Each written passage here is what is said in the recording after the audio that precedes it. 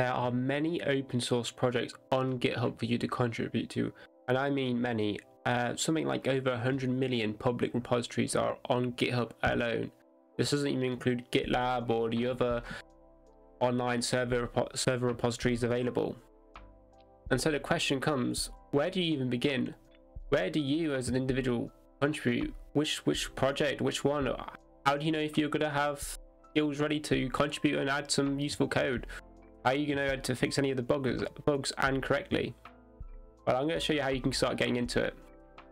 So why should you even contribute to open source projects in the first place? Well, uh, you see a lot of like have promotion to here pro projects you should make for beginners, intermediate, advanced. You don't really see many of them talk about about open source projects and contributing to them. And I think if I were to hire someone and I saw someone that has a reputation of contributing to open source projects, maybe a bit more inclined to actually hire them. And I'll explain why. So here we have the Bevy game engine. And if we go to the contributing.md, which a lot of open source big projects will have, you can click on it and it will tell you how you can contribute your code to it and what practice you should do, uh, telling you to get oriented, what the what the goal of the project is, because it's not just a piece of code. You can't really contribute anything random really. You got to fit whatever their purpose is. Uh, the the actual organization, you can see it's actually very detailed on what you can add, uh, how you should make uh, changes to Bevy. So discussions, issues, and pull requests a fun way for to get track of bug features, obviously to create an issue. That's a really good way to start. A discussion is also great, like possible features you might want to add. And then finally, a pull request, your code that you'll want to contribute so they can review and approve it. Now, the difference to this as opposed to your own project is that you have to go through a strict code review. With your own project, you just add what you want, whatever you, whenever you like. You ever got a couple of friends, maybe you do go through this, but it's not the same. This is quite like being at a job as a programmer, when you're programming in your workplace, you will have your code from the, the company's code, you will make a change, you will make a pull request saying these are the change to make, and a senior developer or a colleague come along, review the code, either tell you to make these changes or to approve it, or they may make their own change in that pull request. And so, because this is a lot similar, same, when you get to your job you're going to be familiarized with Git and how the workflow works. And I think as an as new employees come in, they're gonna you know fit right in as like this person's already done had experience in this section, especially with juniors who have come out of graduation and haven't got as much coding experience specifically in the job because my experiences when I worked in in doing all these modules in computer science when I was a student. It's just nothing like working at an actual job. You just do your projects, you submit it, and then you, you get your grade. So where should you start? I think you should look at what libraries, packages, and stuff have you use with the language that you're the most familiar with. And for me, one of the projects I contributed on, the first made first one I did was with Raylib Go. When I used this, I noticed there was a missing binding, as this binds to Raylib, which is written in C, and I simply made a pull request to this with the fix. So firstly, this doesn't have a contributing.md, and that's because this is a binding, and a binding is essentially just connecting a package that is in a different language or software and linking it with a one that so it runs in a different language. So this is written in Golang, and we're connecting it to the original Raylib, which is written in C. So it's essentially just creating, converting the functions in C so they work in Go. So there's like calling to it, and that's all it is really. So there's no need for contribute.md because we're not adding new features. We're just making sure that they run on this language. Before I started working on the fix and also creating the pull request, I made sure to check the issues and the pull request that this feature wasn't already being worked on or someone. And so if we go back to my first pull request back in 2022, I made my pull request. I forked the project as and I said this is what the, I'm going to add and within this commit I add some I add the bindings that were missing and the way I did this was I read through the code and I realized oh this is how they do the bindings I'm going to copy it because it's how it matches they said merged thanks. And that was it. It was a easy fix for me. Didn't seem like much like it wasn't actually a big commitment but it was it was my first step into contributing to something that was open source. And it was like a nice experience. And it felt like it was felt quite rewarding to be part of something that a lot of other people use and that I was feeling appreciated. However, my biggest contribution I've probably made is, is towards Mineclone 2, which is a like a Minecraft open source version of Minecraft using the Minetest kind of game engine. And the reason I did this was I was kind of playing around a game and I noticed that a feature was missing. Once again, like the Raylib version, I was like, oh, this feature is missing. And I looked, decided, you know what, I'm going to try and add them, add the missing feature. Uh, what I did is I went through the issues and I looked, searched for the issue I was thinking, which was typically with the grindstone. I, essentially just looked through and it's like, hey, has, has anyone uh, added this issue and then is anyone working on it? And then this was actually talked about. No one had actually made the PR.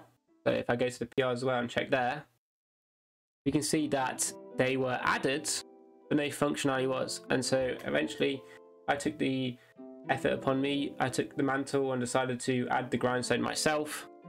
And I added a nice little image I like what I did. I followed their contributing MD, it cable touches, and then they tested it and they approved it. And this was very, it works good. I did eventually move on and do the stonecutter. I didn't finish this one, someone took the mantle for me. I got busy, but I'm glad that my start to the project was finished and I did thank them for adding it. And I was probably credited in the update saying, hey, this functionality was added by this person, which is a very rewarding experience to feel be thanked for your work and you're doing this for no cost at all. You're just doing it, and to see people that appreciate your work and use it in the game is is fantastic. I will say it can be a daunting experience because you have no idea what you're doing was up to the quality that they expect or that the fix is rubbish. And the stone cut was very difficult, and my implementation perhaps wasn't the greatest when, but luckily someone came along and finished up and hopefully improved it. And being told like, oh, you know, maybe you should have these fixes from this other person can be like, uh, oh, I'm not that good, but don't let that put you down because people are still very thankful that you started the kind of the the flow.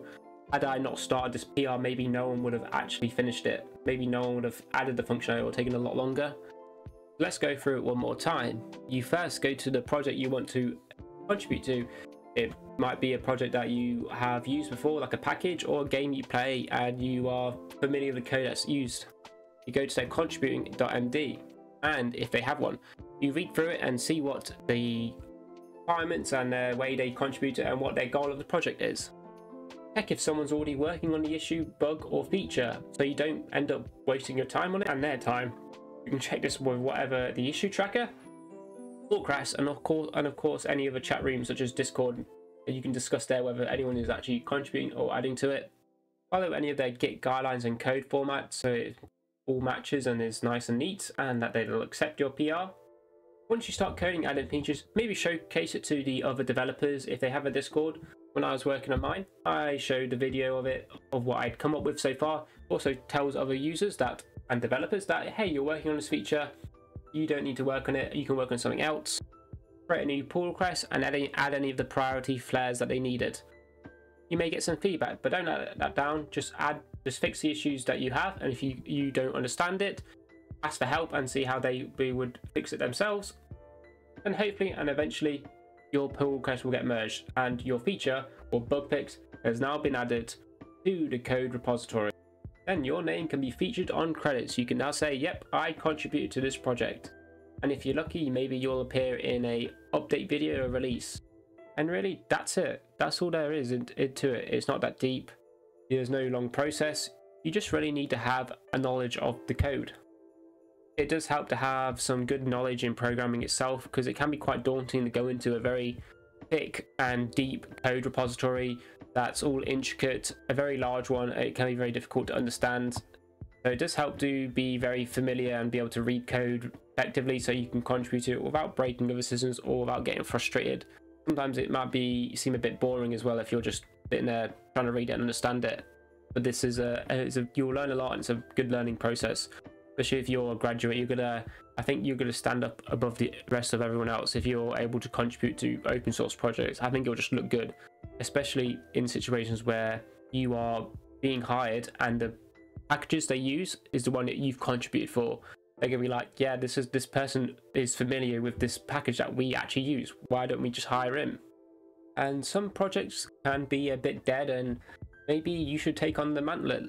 Little ray tracer called POV-Ray that's not been updated really in three years and it's still using its stable release of 3.7 which came out in 2013 and I think something like this could use a bit more love and care and to extend it even further. It's, a great little little package if you want a little command line ray tracer kind of uses JSON format.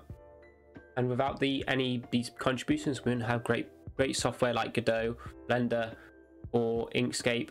So please do contribute as much as you can.